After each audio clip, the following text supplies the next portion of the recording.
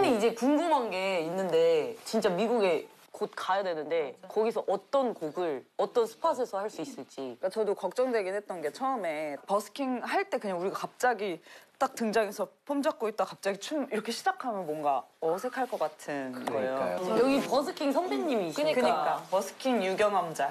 그래서 제가 생각한 거 있어요. 네.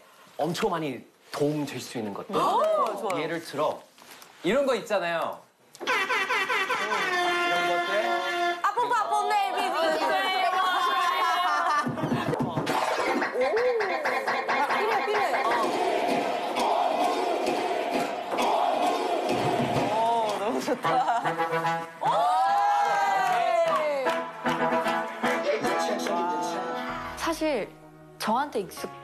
한 헨리 오빠의 모습은 되게 귀엽고 살짝 허당기가 있는 그런 사람이었는데 실제로 정말 음악을 만들고 그 악기를 다루는 모습을 보니까 아 저 사람이 진짜 천재가 맞구나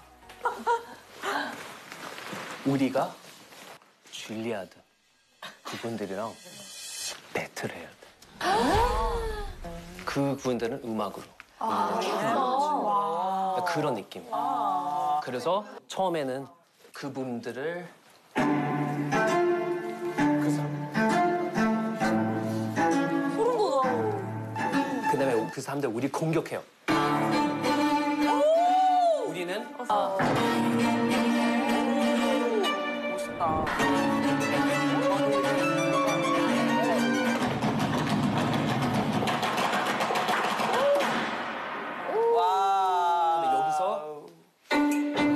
다 그려져. 타이밍 상상돼.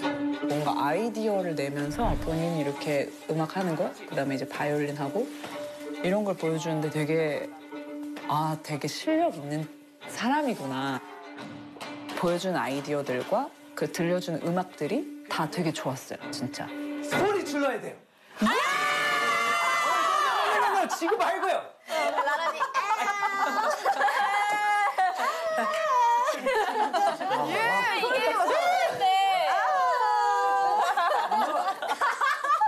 그래서 그렇게 하다가 너무 멋있겠다, 근데 진짜. 그렇게 하다가